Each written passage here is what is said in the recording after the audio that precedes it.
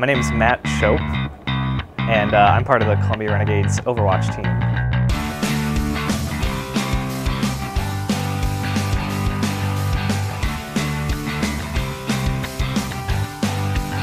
Uh, I joined the team because I like playing Overwatch, and I think I'm pretty decent at it.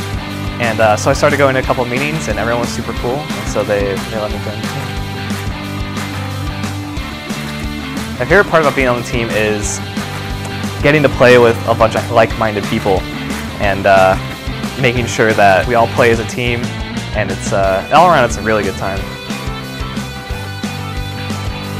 I think my favorite memory is going to practice and all the lights are turned down super low and then we get into this huge uh, intense team fight and then whoever wins, uh, everyone just starts yelling at each other and it's really a good time. And yeah.